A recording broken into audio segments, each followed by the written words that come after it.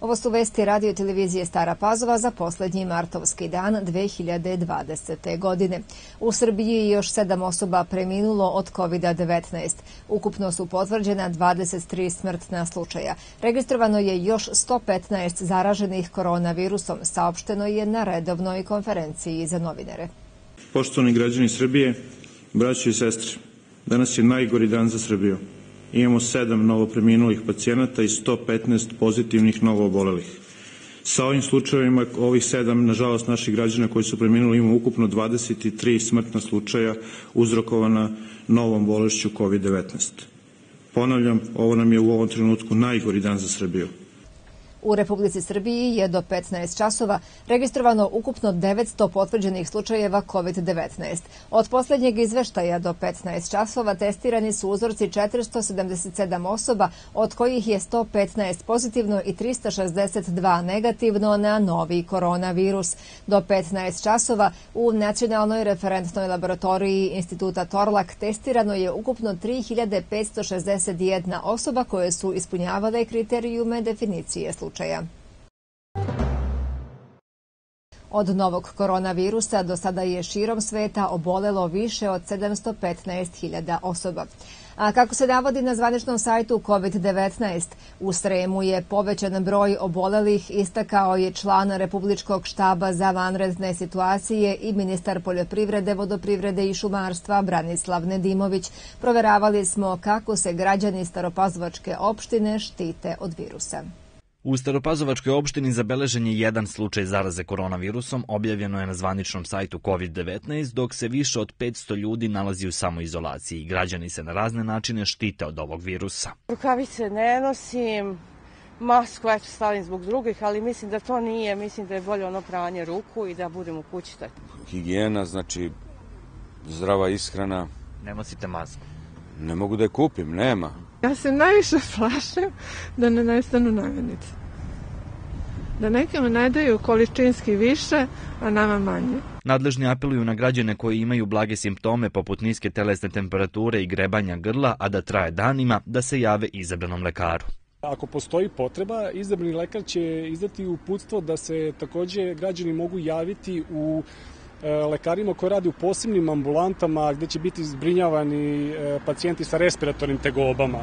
E, takođe, tu ako dobiju uputstvo, e, vrlo je bitno da prvo telefonom kontaktiraju te ambulante i zatim dalje lekar koji radi u takvoj ambulanti, jedna postoji u Staroj Pazovi, druga u Novoj Pazovi, e, dalje će slediti uputstva. U štabu za vanredne situacije opštine Stara Pazova ističu da je za sve građane obezbeđeno dezinfekciono sredstvo na bazi natrijum hipohlorida, da se ulice dezinfikuju u svim naseljima, te da je do sada podeljeno oko 5000 maski i rukavica. Pored toga, podeljeno je oko 2000 paketa najugroženijim građanima, a uskoro počinje i podela 10.000 paketa namenjenih penzionerima, čija primanja nisu veća od 30.000 dinara.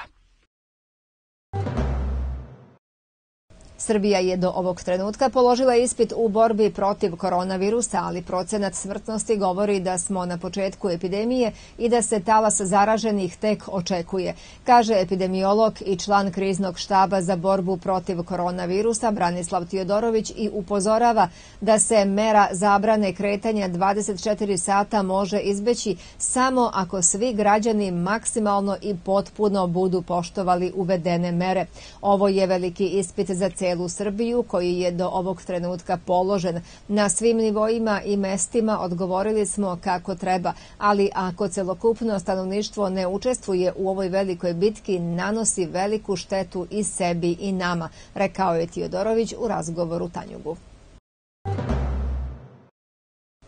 Predsednik Republike Srbije Aleksandar Vučić razgovarao je telefonom sa komesarom Evropske unije za susedsku politiku i proširenje Oliverom Varhejijem o saradnji u suzbijanju širenja koronavirusa i zarazne bolesti COVID-19, kao i o pomoći Evropske unije Srbiji i Zapadnom Balkanu da odgovore na taj izazov. Predsednik Vučić je posebno zahvalio komesaru Varhejiju na ličnom angažmanu, naglasivši da se Srbija nalazi na evropskom putu i da će sve svoje obaveze na tom putu ispunjavati, ali da će umeti i da pokaže solidarnost sa zemljama Evropske unije koje su najteže pogođene koronavirusom. Svi punoletni građani Srbije dobit će direktnu pomoć od 100 evra, saopštio je danas ministar financije Siniša Mali. To je jedna od mera države za oporavak srpske ekonomije koja je pogođena epidemijom virusa korona. Izdvojit ćemo oko 70 milijardi dinara iz budžeta i svakom punoletnom građaninu uplatiti iznos od 100 evra u dinarskoj protivvrednosti, rekao je Mali na preskonferenciji na kojoj je predstavio mere sa predsednikom Privredne komore Srbije Markom Čadom. Padežom. On je istakao da je to veliki znak podrške i želje da se unese jedna doza optimizma. Da pokažemo koliko je Srbija u ovom trenutku jaka i da svakom građaninu omogućimo da dobije oko 12.000 dinara. Privredi ide i 2,2 milijarde evra kroz Fond za razvoj, a to su jeftini krediti sa kamatom od 1% i to ide za preduzetnike, mikro i mala preduzeća.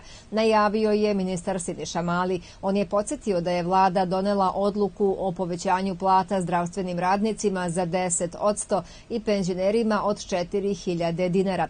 Reč je o odlaganju plaćanja poreza i doprinosa za najmanje tri meseca, odlaganje plaćanja poreza na dobit za drugi kvartal i oslobađanja plaćanja poreza na dobit za donacije. Ukupna vrednost ovih donacija je 160 milijardi dinara. Mali je rekao da je paket vredan 608 milijardi evra. To je polovina našeg budžeta i 11 odsto našeg bruto domaćeg proizvoda i da imamo četiri mere. Prekršajni sudovi u Srbiji izrekli su ukupno više od 51 miliona dinara novčanih kazni tokom prvih 10 dana od donošenja uredbe o zabrani kretanja na javnom mestu tokom vanrednog stanja, a radi sprečavanja širenja koronavirusa. Kažnjeno je ukupno 1049 osoba različite starosne dobi novčanim kaznama od 50 do 150 hiljada dinara zbog prekršaja po tri osnova, kažu za Tanjuk u pravosudnim organizacijama organima. Uprava saobraćajne policije Ministarstva unutrašnjih poslova Srbije najavila je da će u narednom periodu obavljati pojačanu kontrolu jer je uočen povećan broj saobraćajnih prekršaja neposredno pred početak mere zabrane kretanja.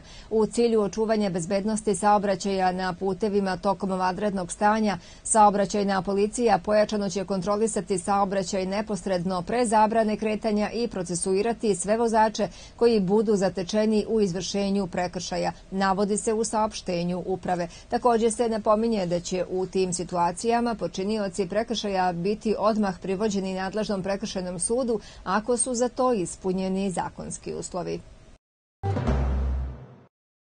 U opštini Stara Pazova ove nedelje počinje podela paketa penzionerima sa primanjima manjim od 30.000 dinara, a u lokalnom štabu za vanredne situacije ističu da je spremno 10.000 paketa. Do sada je 2.000 paketa podeljeno najugroženijim sugrađanima, obavljeno je više od 4.000 razgovora sa građanima putem call centra, volonteri su intervenisali više od 5.000 puta, a građanima je podeljeno oko 5.000 maski i rukavica. Opštinski štab za vanredne situacije u saradnji sa Lastom Stara Pazova zbog ukazanih potreba za pola sata pomerio je dnevni polazak iz Nove Pazove za Staru Pazovu. Polazak je pomeren sa 19.30 časova na 20 časova. Iz gas feromonta obaveštavaju sve kupce prirodnog gasa da će očitavanje stanja na gasomerima vršiti od sutra, dakle od 1. do 3. aprila tekuće godine i to po sledećem rasporedu.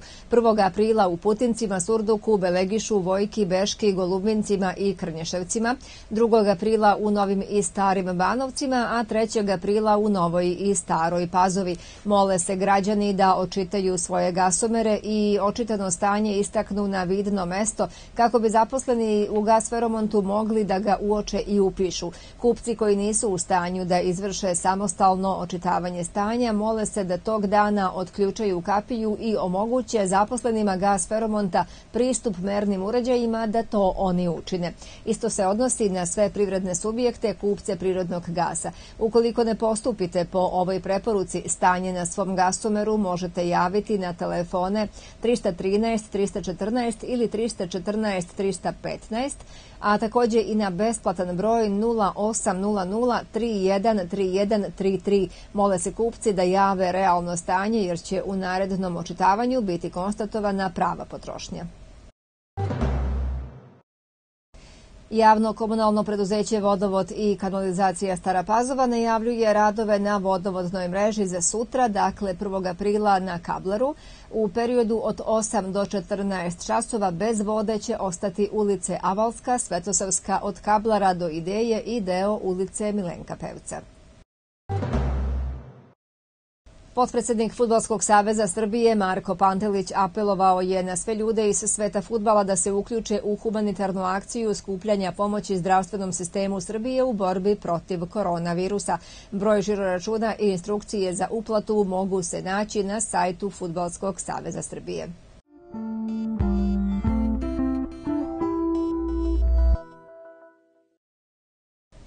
Sutra ujutro slab mraz na severozapadu pretežno sunčano, u ostalim krajevima oblačno sa snegom, ponegde i susnežicom. Duvaće slab i umeren severo, severni vetar. Najniža temperatura od minus 4 do 0, a najviša dnevna od 1 do 6, a na severu Vojvodine do 10 stepeni.